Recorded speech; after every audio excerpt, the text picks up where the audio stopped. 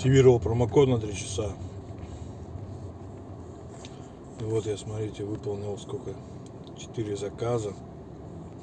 А, нет, вот один заказ за 2055 с промокодом. Потом за 698, за 404. И так рассчитал время, чтобы сейчас осталось минут 20 поймать заказ до дома. И вот вроде мне повезло. Но пока не отменили до Кировска. Промокод у меня закончится. Сейчас покажу во сколько.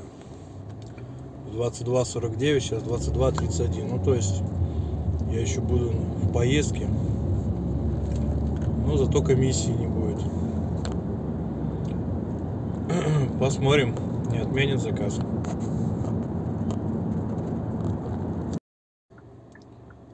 Заказ отменили. Хотя заказ... Вообще пошли.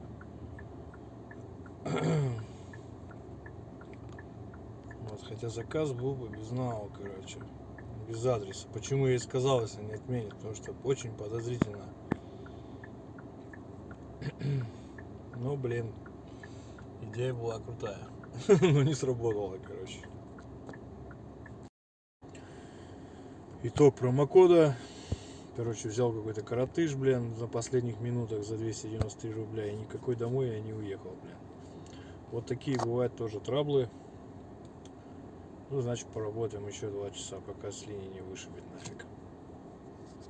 Сегодня заработал 1700 на постояннике. Сколько там у меня уже получилось? Короче, 12 я сделал за вычетом комиссии Яндекса. Ну, еще сейчас работну чуть-чуть.